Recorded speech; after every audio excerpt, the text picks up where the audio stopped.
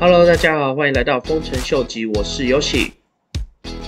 今天比特币的价钱，正如我之前有提到，稍微有一个回调的动作，基本上也是因为 ETF 的新闻效果之下，比特币的价钱在短时间内成长太高，所以正常的一个回调是非常健康的。在这个部分的话，大家并不需要太过于的紧张，而且大家其实可以看到，在比特币六万。或是在以太币大概接近四千这个水位的时候，它的支撑其实都是非常非常强的。大家可以看到，我又再一次跟大家分享 Plan B 的 Dark to Flow 的这个图表。最主要的是现在大家都有一个共识，就是基本上牛市已经开始形成。这个大牛到底是什么时候会来到？当然，币圈的市场上有各种不同的分析，但是我个人还是觉得 Plan B 它这个图形。整体来说，目前的准确率相对于的还是稍微高了一点。那如果熟知 Plan B 的图形的朋友的话，就可以知道，它这个 Start to Flow 的图表其实是有两个不同的版本。一个版本呢是所谓的 Start to Flow，那另外一个是 S2FX，就是它里面还有掺杂一些其他的资产的一些因素。那因为它们的本质上面有些许的不同，所以 Start to Flow 跟 Start to Flow X。这两个图形，它们所绘制出来的比特币的最高点，相对于的就会有所差别。我个人的话是会比较倾向 Stack to Flow X 的这个 model。这条淡蓝色的线，其实就是当初二零一二年，自从第一次比特币减半之后所开始的一个上行的趋势。再来这条深色蓝色的线，就是当初二零一六年比特币减半那个时候，紧接着的比特币的牛市的一个图形的趋势。红色的这条线就是自从去年五月的时候减半之后，比特币一个上行的一个趋势图。其实大家可以发现，这个蓝色的曲线图跟这个红色的曲线图，其实在某些程度方面是非常非常类似的。所以这也是为什么一直有很多人说，这次的牛市的情势应该会比较倾向像是二零一三年的那波牛市。它在年底之前应该就会突破十万，然后如果在市场各个大环境之下都是非常健康的话，到达 S two F X 它的目标的这个价钱水位，我觉得也并不是会太困难。这个水位的话，他们目前的估算大概是二十八万八千左右。那如果以二零一三年同样的爬升的一个幅度来去估算的话，我个人认为这个 Stack to Flow X 的最高点的时间点，大概就有可能发生在明年的二月到三月之间。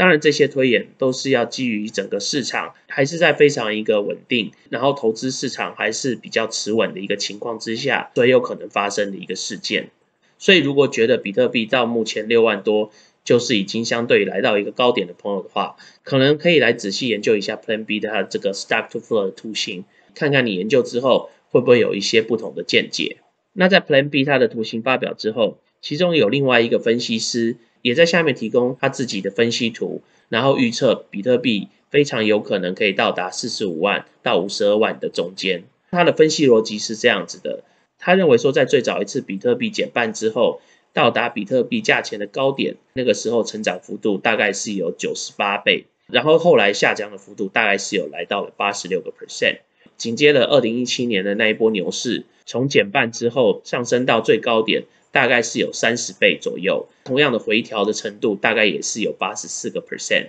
同时，他也注意到，在前这两次的比特币上升中间，都一度有发生过一个盘整的情况。在第一次盘整的时候，回调的百分比大概是来到了百分之八十左右。在上一次盘整的时候，回调的百分比相对于的只有百分之四十。那就在发生在今年年初五月时候的盘整的比例，当时是来到了大概百分之五十五左右。所以他就认为说，如果照这样子来去反算的话，五十五 percent 相当于就是这两个当初下跌的以之后的一个平均值，所以是将近大概六十 percent 左右。所以他也就认为说，这次比特币上升的幅度，相较之下也非常有可能会接近前两次上升幅度的一个平均值。所以以这样他这个反倒推的运算方式的话，大概是将近六十倍左右。大概价钱的区间就会在四十五万到五十二万中间。不过，当然，它这样子的一个推算中间，其实是有预设蛮多立场的。但是，不论是我们做任何的分析的时候，其实自然而然都会有一些假设性的情况。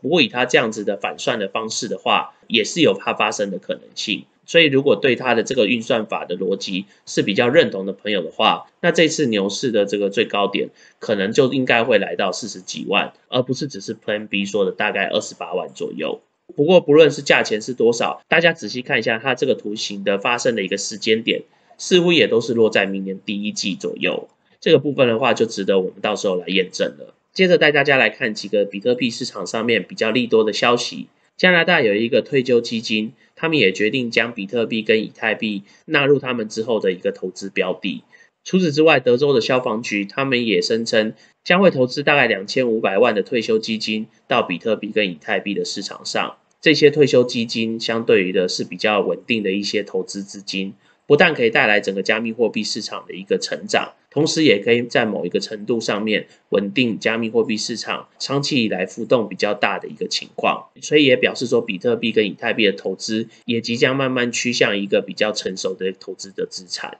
除此之外，英国有一个电动车的充电公司将会透过收购一个区块链的 App 公司，把加密货币跟手机的 App 整合到他们的充电系统上面。让他们的充电系统之后都能接受加密货币的一个付款方式。除此之外，美国最大的零售公司沃尔玛最近也开始不动声色的在他们全国的两百个据点内放置了可以接受或是提取 Bitcoin 的 ATM 机器。虽然说这个规模相较于其他华尔街的传统基金投资公司所投入的金额是少了很多，但是至少我们也可以看到沃尔玛这个 retail 的龙头。他也发现说，加密货币市场在未来的一个趋势是无法避免的，所以其实很明显的就在测试加密货币付款跟交易在他们 retail 市场上面所有可能带来的一些影响。那是不是代表沃尔玛在短期之内也有可能开始全面的在他们的官网上面接受比特币或是加密货币的付款？另外，在昨天的时候。Associate Press 这个全球独立的新闻公司，他们已经发表声明，将会开始运行 Chainlink 的节点，目的就是为了让之后新闻的一些讯息能够更准确、更迅速的传达到他们所有的客户手上。其实这也是另外一个现实生活当中的一些公司的营运，确实是可以跟区块链技术来去做一个整合，让整个资讯的取得更迅速、更有效率，而且一定可以减少更多的花费。那原本准备在下周发行的 VanEck 的 ETF，原本以为会是比特币发行的第二个期货的 ETF，但是在美国时间星期五稍早的时候，我们之前提到的 Valkyrie 就在今天早上正式的上架。那其实这也就跟我们之前提到的那个图表上面推演是不谋而合的。不过虽然说今天 Valkyrie 它们一推出的时候，整个比特币市场是有一个回整的情况，不过他们今天一发行的时候，在短短的一个小时之内，也获得了大概一千万美金的一个注入，所以其实这个资金流入的速度，相对于的也是非常非常快的。不过也因为最近比特币期货的 ETF 陆续上架的情况，似乎整个市场上面的需求是远远超过这些期货的 ETF 所能负荷的，也就造成了现在整个期货市场上面比特币的价钱一直有往上攀升的情况。其实，在这样子的情况之下，对整个比特币期货的市场并不是这么的健康。所以，其实就有分析师指出，如果美国的金管会 SEC 他们发现到比特币期货的 ETF 的发行并没有办法真正达到一个稳定的效果的话，他们可能到时候就会开始准备审查核准实际现价的比特币的 ETF，因为他们当初想要先核准比特币期货的 ETF。就是希望说能透过期货的一个方式来去减少资本市场上面所可能造成的一个价格的大幅的浮动。不过，如果比特币期货 ETF 在供不应求的情况之下，有可能造成的价钱的浮动，相对的也是不可小看的。所以，会不会比特币期货 ETF 最近的一个风行之下，间接的也就促成了比特币实价 ETF 的发行？这个部分的话，也就值得让我们来期待。今天在最后来跟大家分享一下，之前跟大家介绍的 Blocksmove 这个区块链的 project，他们在今天的时候已经正式的上架。那在今天上架的时候，价钱从一开始的八十 cent 一下子就跳到了大概五块。不过现在又开始慢慢回调当中。虽然说我个人也是非常看好这个 Blocksmove 的 project，不过我个人的话还是会先观察一阵子，等到它价钱开始比较持稳的时候，再准备开始进场。当然，你如果个人对这个 project 是非常看好的话，我也会把他们的 contract 的地址放在我的 description 下面，那大家可以直接到 Uniswap 上面来去交换。除此之外，来跟大家提醒一下，如果之前已经有投资 Morpheus Network 这个跟供应链紧紧相关的加密货币的话，他们最近正在开始转换，把他们的原有的 MRPH 这个加密货币转换成一个新的货币，叫 MMW，可以通过 Morpheus Network 他们的 Swap 的系统直接来去做一个兑换。那如果你是之前已经持有 morphy Network 货币的朋友的话，我会把这个 Swap 的直接的连接放在 Description 下面，让大家来去进行更换。因为之后原本的 MRPH 这个货币将不再有任何的升级，或是不会再继续被使用，所以大家有时间的话，就尽速的把它换到新的 MNW 这个 Morpheus Network 的正式的货币。那我们就先聊到这喽。如果喜欢我 content 的朋友，麻烦帮我按赞、订阅、分享、开启你的小铃铛。那如果对我的 content 有任何 comment 的朋友，也麻烦帮我在下面留言。那大家就周末愉快，拜拜。